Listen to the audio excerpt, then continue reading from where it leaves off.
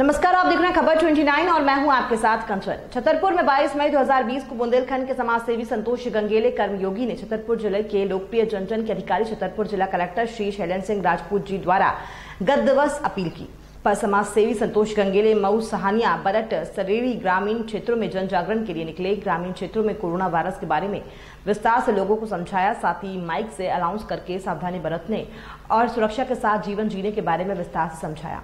मऊ सहानिया सरपंच और अन्य ग्रामीण द्वारा शनि मंदिर गेट पर जन जागरूकता संदेश गया इसी प्रकार ग्राम बरट सरेड़ी के पूर्व सरपंच क्षेत्र के समाज सेवी डॉक्टर महादेव राजपूत और अन्य ग्रामीणों के बीच तालाब के किनारे बने शिव मंदिर पर पूर्व माध्यमिक विद्यालय परिसर मैदान पर लोगों को जागरूक किया गया।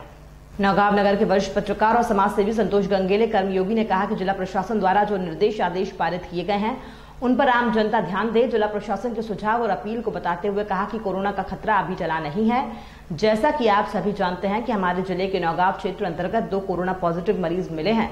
साथ ही कई प्रवासी मजदूर बसों के माध्यम से रोज ज़िले में प्रवेश कर रहे हैं। ऐसे में हमें अत्यधिक सतर्क और सुरक्षित रहने की ज़रूरत है। इसलिए मेरा आप सभी से अनुरोध है कि घरों से बाहर निकलते वक्त मास्क ज़रूर पहने।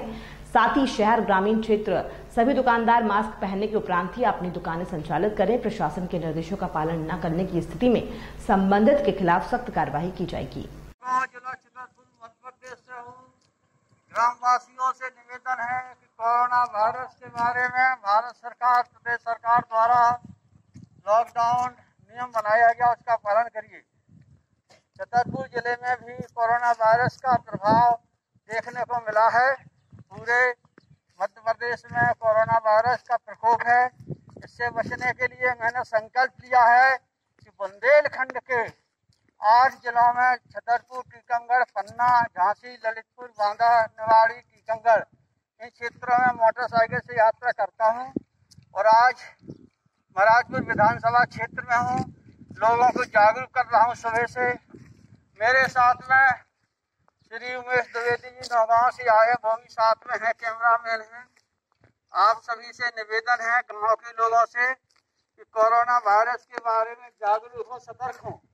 ये हमारा शासकीय माध्यमिक शाला बरट है और हमने गाँव के आसपास के लोगों को बताया कि आप मुँह ढक के रखें, हाथ धोएँ, सावधान रहें, सतर्क रहें, दो फुट की दूरी बनाएँ और गाँव में कोई व्यक्ति बीमार हो, सर्दी हो, जुकाम हो, बुखार उसका तत्काल उपचार कराएँ।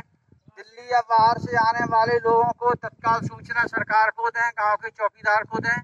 ये हमारा निवेदन है, आप सभी से, सब लोग सतर्क रहें। मैं अपने वीडियो के माध्यम से क्षेत्रवासियों से निवेदन करता हूँ कि आप अपने अपने गाँव में सावधानी सतर्क रखें। एक बार पुनः मैं संतोष गंगेले कर्मयोगी, आप सभी को प्रणाम, अभिनंदन, वंदन करता हूँ और आशा करता हूँ कि कोरोना वायरस के नियमों का पालन करेंगे, सावधान रहेंगे, सतर्क रहेंगे और हमेशा सतर्क रहे, क्योंकि ये बीमारी सालों चलने वाली है।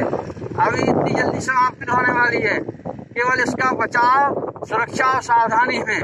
आप सभी को नमस्कार करता हूँ। जय हिंद, जय भारत। भारत माता की जय। वंदे मातरम।